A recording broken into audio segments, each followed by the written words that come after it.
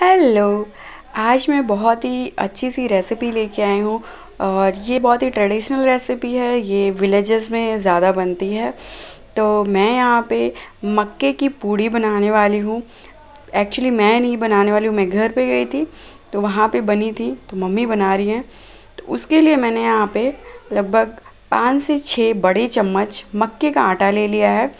उसको हम थोड़ा थोड़ा पानी ऐड करके इसमें हम इसको गूँथ लेंगे। इसमें जो है ग्लूटेन नहीं होता है।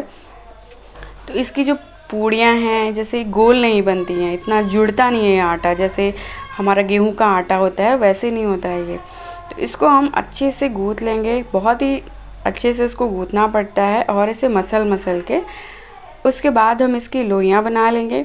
मम्मी यहाँ पे पानी से ही इसकी लोइयाँ और पूड़ियाँ बेलने वाली हैं।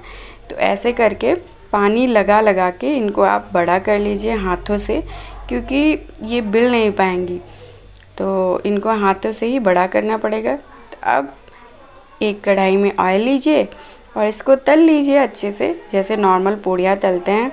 तो देखिए, एकदम फूल गई है, गोल गोल। बहुत ही टेस्टी लगती हैं ये पूड़ियाँ। आपने कभी ट्राई किया है? आप मुझे ज़रूर बताइएगा। और कमेंट करिएगा कि आपको ये पूड़ियाँ कैसी लगती हैं। मुझे तो बहुत ही टेस्टी लगती हैं आलू, टमाटर, मटर की सब्ज़ी के साथ। तो आप ये ट्राई करिएगा और आपको ये रेसिपी कैसी लगी मुझे ज़रूर बताइएगा। और देखिए इनको प्याज और मैं यहाँ पे सर्व कर रही हूँ आलू गोभी की सब्ज़ी के साथ और हरी मिर्च और प्याज के साथ। तो ये रेसिपी आपको कैसी लगी मुझे ज़रूर बताइएगा। सब्सक्राइब करें चैनल को। बाय